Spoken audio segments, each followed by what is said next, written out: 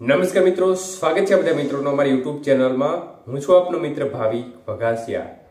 તો મિત્રો, ખાસ કરીને આ વિડીયોના માધ્યમથી આપણે વાત કરવાની છે, હાલની સિસ્ટમની સ્થિતિ શું છે અને આજે ગુજરાતના કયા કયા જિલ્લાઓમાં ધોધમાર મંડાણી વરસાદની શક્યતાઓ રહેલી છે, સંપૂર્ણ માહિતી જાણીશું. તો વિડીયોને છેલ્લે સુધી જોવા વિનંતી અને અમારી માહિતી જે પણ મિત્રોને સારી લાગતી હોય તો ચોક્કસપણે અમારી ચેનલને સબસ્ક્રાઇબ કરી લેજો. ફેસબુકમાં જોતા હોય તો અમારા પેજને ફોલો કરી લેજો.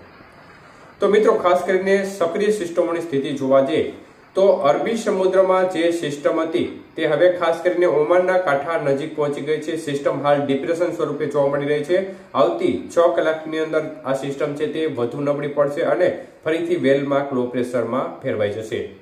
તો બંગાળની ખાડીમાં જે દક્ષિણી ભાગો નજીક સિસ્ટમ બની છે, તે સિસ્ટમ અત્યારે લો પ્રેશર હતી, તે હવે વેલમાર્ક લો પ્રેશરમાં ફેરવાઈ છે અને આવતી ચોવીસ કલાકની અંદર આ સિસ્ટમ વધુ મજબૂત બની ડિપ્રેશન લેવલ સુધી ફેરવાય તેવી શક્યતાઓ છે.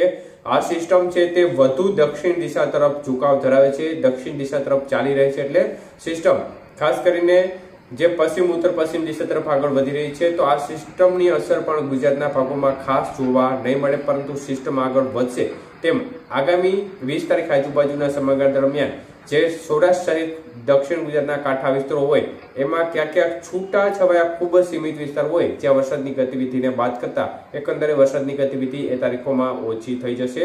આમ જોવા જઈએ, તો આ પ્રકારની સિસ્ટમની સ્થિતિ વચ્ચે આજથી જ વરસાદના વિસ્તારોમાં મોટો કાપ મુકાશે, પરંતુ વરસાદની ગતિવિધિ સંપૂર્ણપણે બંધ નહીં થઈ જાય, ખૂબ જ સીમિત કોઈ કોઈ સેન્ટરો હોય જ્યાં વરસાદની ગતિવિધિ છૂટાછવાયા સમકલા જોવા મળી શકે છે.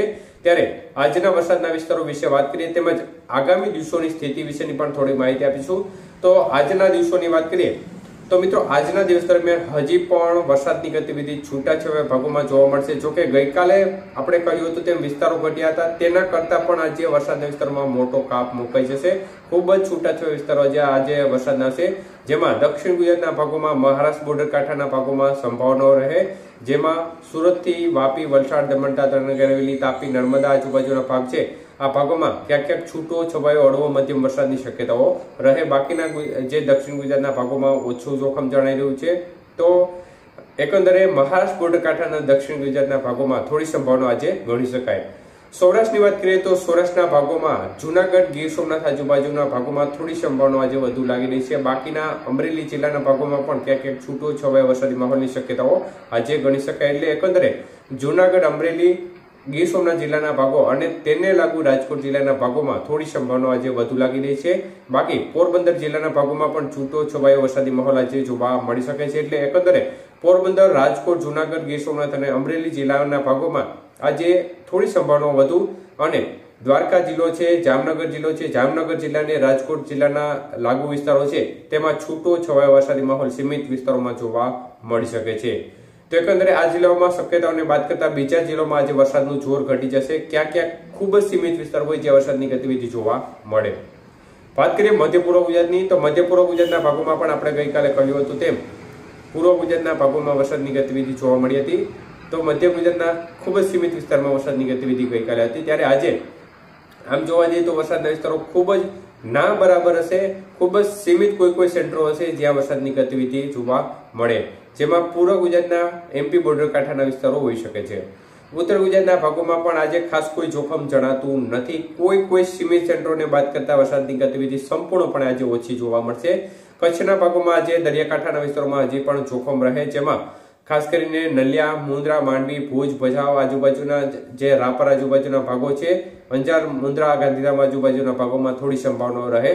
બાકીના કચ્છના ભાગોમાં આજે જોખમ જણાતું નથી. તો એકંદરે દરિયાકાંઠાના દક્ષિણ ગુજરાત, સૌરાષ્ટ્ર અને કચ્છના ભાગોમાં થોડી શક્યતાઓ વધુ લાગી રહી છે. બાકી બીજા ભાગોમાં આજે વરસાદની ગતિવિધિમાં મોટો કાપ મુકાઈ જશે.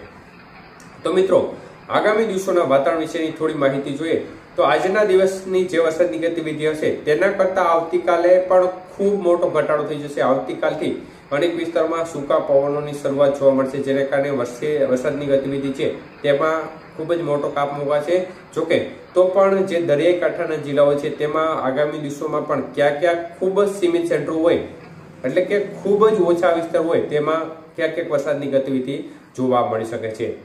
તો જે બંગાળની ખાડીવાળી સિસ્ટમ છે તે ક્રમશઃ આગળ વધે. તો એના પવનો છે તે દક્ષિણ ગુજરાતના ભાગો છે અને સૌરાષ્ટ્રના કાંઠા વિસ્તાર છે. તેમાં થોડી અસર કરી શકે છે. વીસ તારીખ આજુબાજુના એકાદ બે દિવસ દરમિયાન. બાકી એકંદરે હવે વરસાદની ગતિવિધિ સંપૂર્ણપણે ઓછી થઈ જશે. એકંદરે જે પણ ખેડૂત મિત્રો મગફળી ઉપાડવા માંગે છે તે ચોક્કસપણે હવે સાહસ કરી શકે છે. કારણ કે ખેડૂત છે તેને ચોક્કસપણે આપણે સાહસ તો કરવું જ પડે.